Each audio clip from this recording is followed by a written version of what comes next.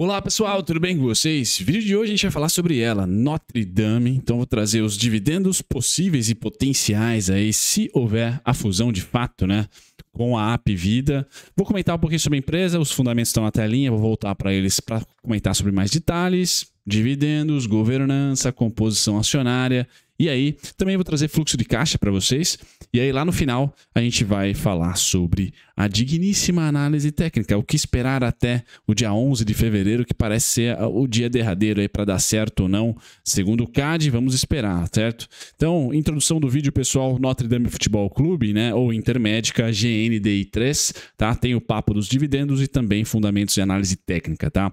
Merchan da semana, o comunicado da semana, pessoal, é Obrigado pelos e-mails para quem está abrindo conta na Necto para pegar essa, essa corretagem zero, mais o acompanhamento da minha carteira e os vídeos semanais. Vocês estão mandando um e-mail para mim, clube.dividendos.gmail.com, tá muito mais rápido. O Arik, que está ajudando a gente a abrir a conta agora, é muito mais rápido, tá certo? Então, se você tentou uma vez não conseguiu, tente de novo, pessoal. Vamos abrir conta lá se você quiser pegar esses benefícios, tá?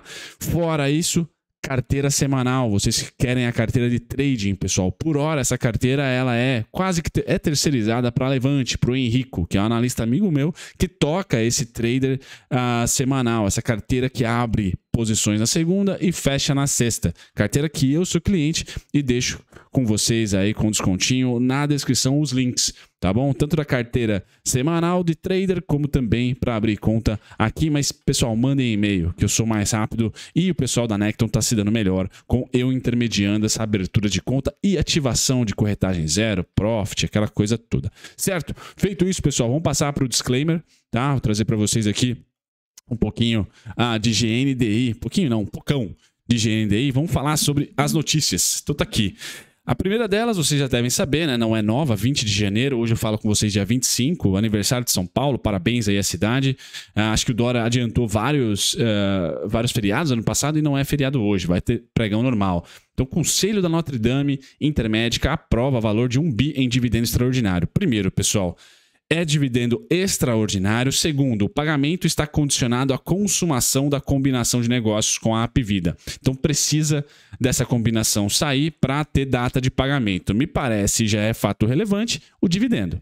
Tá? Ele será realizado até 29 de março. Então, ou a Intermédica colocou o cavalo na frente da, sei lá como qualquer expressão, agora esqueci, a charrete na frente do cavalo, enfim, ah, ou meter os pés pela mão, pelas mãos e assim vai, tá? Ou eles já sabem que de fato vai, essa combinação vai acontecer, porque isso bombou na, na agenda Proventos. O importante é extraordinário, pessoal. Quando a gente pula para o fato relevante, então database por hora no comunicado tá ali, pessoal. Eles falam da seguinte maneira: com base na composição acionária da companhia no fechamento do mercado do dia 11 de fevereiro de 2022. Então eu vou me guiar, me nortear 11 de fevereiro, data base, data pagamento até dia 29 de março, tá? O valor é R$ 1,61 por ação GNDI, tá? E o dividend yield fechou a R$ 66,00 ontem, né, dia 24, tá em torno de 2,4%. Então marquem os números, eu vou passar esse slide lá pro pessoal do Telegram, tá? O, o, o link do Telegram também é gratuito, pessoal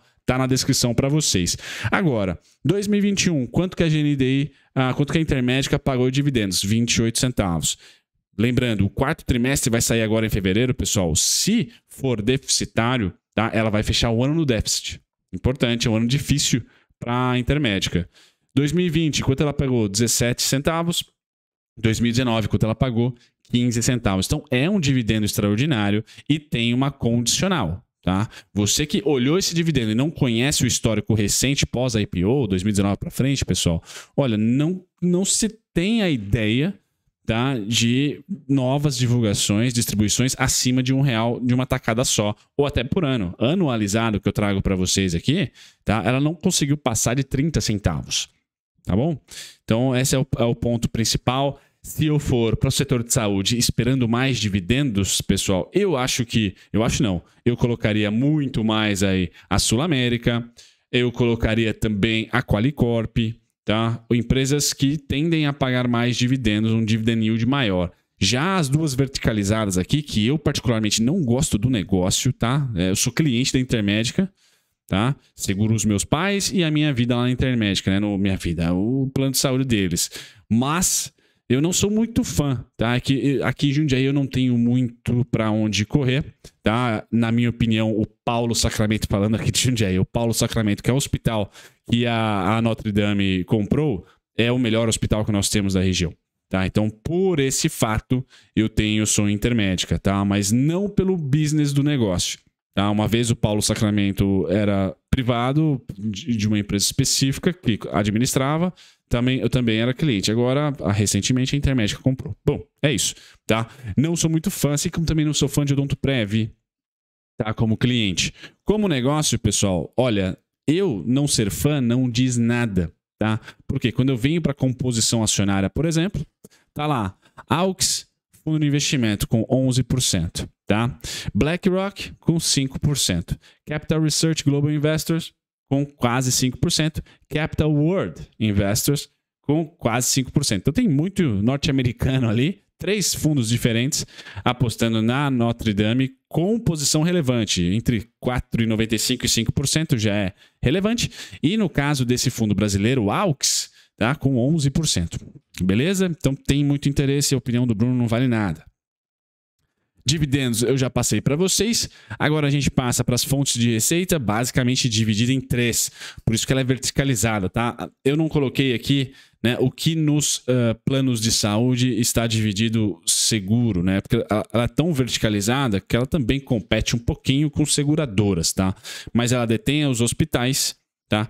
Ah, então, quanto mais leitos ocupados para ela, melhor é. Então, quanto mais atividade tiver no hospital, melhor é. Só que como ela é verticalizada, tem os planos de saúde, tá? Ela tem o risco também da sinistralidade. Tá? Então, por isso que eu não gosto muito desse, desse, desse negócio como investidor. Como cliente, ah, preciso de mais tempo para maturar a minha ideia. Estou com 30 anos hoje, eu vi a decadência da Unimed aqui em Jundiaí. Tá? Então não sei se vai para o mesmo caminho. Creio que não, torço para que não, pelo menos aqui em Jundiaí, tá bom, pessoal? Onde eu moro especificamente. Mas ela está envolvida, a Notre Dame e a Apvida, a todos os riscos e, a, do que envolvem saúde, tanto a sinistralidade como a ocupação de leito. Então eu prefiro dividir, tá? Ah, ou eu pego uma Qualicorp, tá? Ou uma Sul-América, uma Sul-América e uma Mater Dei e uma redidor, tá? Ou eu pego um hospital que vai se beneficiar com o, o, a ocupação dos leitos, ou eu pego uma seguradora que não vai se beneficiar dessa sinistralidade, que é uma ocupação de leitos, tá? Ter verticalizado como investidor, é um, eu acho um risco muito grande, tá? Eu acho um risco grande. Eu prefiro ter antagônicos, tá? Então eu pego uma medicina diagnóstica, que depende de pessoas indo a laboratórios, por exemplo e depois contra eu pego uma seguradora que prefere não ter a sinistralidade alta. Ah, então eu prefiro essa dicotomia, tá? Não sei vocês, deixem nos comentários o que, vocês acham, tá? Ao investir na Notre Dame ou na Apvida, vocês estão investindo na verticalização, ou seja, eles têm de tudo ali, tá? Estão crescendo. Então, nesse momento, tá bem bacana. Aparentemente, eles, eles vêm crescendo ali ano a ano, tá? Aqui em Jundiaí, o que a Intermédica está fazendo é... Eles criaram uma central de saúde espetacular na frente da, da FATEC ali na, na, na, na, na Ferroviários, que, olha, classe A o negócio, tá? Então, assim, no momento tá bem interessante, bastante injeção de grana, IPO recente, bom, tá? Eu só não vejo no longo prazo, é, com esses riscos todos mesclados, tá? Bem, ser, ser interessante devido à derrocada, entre aspas, da Unimed que eu, eu vi acontecer, tá? Bacana. Opinião minha, pessoal. Fundamentos. Então aqui eu vou dar o destaque para vocês que sim, ela está por hora deficitária no ano, tá? Uh, queimou bastante caixa, tá? Só que não se endividou tanto se comparado com o IPO para cá, tá? Então ela tem ali um fluxo de caixa, vamos dizer assim, ainda resiliente. O fluxo de caixa operacional caiu muito em 2021. Tá? Uh, vem fazendo seus investimentos, então tem que acompanhar de perto o release da Notre Dame. Tá? De novo, pessoal, é um setor que para perder a mão é rápido. Por quê, pessoal? Porque, querendo ou não, ser verticalizado tá? traz consigo margem baixa. Tá? Então, planos de saúde a preços mais módicos e cuidar de todos os processos, vamos dizer assim, desde o leito até o plano de saúde, tá? e odontológico também, eles têm agora, é, traz margens baixas. Tá? Então, se você comparar a margem líquida dela com a Qualicorp, dela com a Sul América, dela com Bradesco Seguros, né, com o próprio Bradesco, dela com quem mais, pessoal? A Porto Seguro, BB Seguridade, as seguradoras, né? Embora BB Seguridade e Porto Seguro não tenham muito saúde ali, tá? Vocês vão perceber que é muito abissal, tá? Então é um negócio apertadinho, tá? Quase margem de varejo.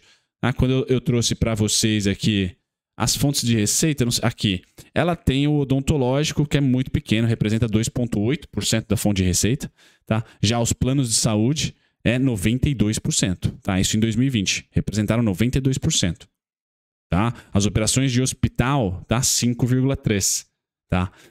Então, assim, não é alta margem, é um negócio de margem pequena. Tem que saber disso, tá certo? Por hora, a dívida em 2021 deu uma alavancada de 0 para 2,5%, queimando o caixa do IPO aí. Vamos ver essa fusão, essa combinação de negócios com a Apvida se sai ou não, tá? Caixa livre, pessoal, aqui de novo a cornetada, né? Então a gente pode perceber que o fluxo de caixa, que é o verdinho, ele está negativo, né? Desde 2019. Então isso pode a ser um empecilho dentro de uma empresa, dentro de um business de margem baixa. Tá? Então, o fluxo de caixa operacional melhorou muito de 2019 para 2020, mas caiu em 2021. Estamos em, um, em uma época de pandêmica, então é difícil aqui tirar uma análise, tá bom, pessoal? Ela vinha bem, bem consistente de 2015. O azulzinho é o fluxo de caixa operacional. 2015 a 2018. 2019 também, poderia alongar aqui. 2020 teve o ar da graça, pelo menos ali nos, nos primeiros lockdowns foi muito bom para a companhia, tá? principalmente a parte de planos de saúde. O pessoal continuou pagando, mas não medo de ir para o hospital. E aí, quando começou a ter problemas de hospitalizações, bom, tá? Sofreu. Tá bom, pessoal? Então ela está bem, bem, bem sensível a esse ponto. É difícil analisar agora os fundamentos de hoje, tá? Mas é um ponto de alerta. Fluxo de caixa dela é um ponto de alerta. Vamos olhar aí para um mundo pós-pandêmico, assim a gente espera em 2023, quem sabe, tá? Governança, o valor de mercado hoje, market cap, pessoal, pegando todas as ações e multiplicando pelo preço, é menor que o valor da firma. Então, há esse não tá cara, tá? O segmento de listagem novo mercado, free float estupendo e o tag along de 100%, tá? A governança é muito boa. Agora sim, a gente pula para o preço, tá? Para finalizar para vocês, o preço, pessoal, vamos lá. Qual foi o IPO, né? A precificação do IPO? Pois bem, tá nela, 57,92, tá? Então é o ponto mais importante.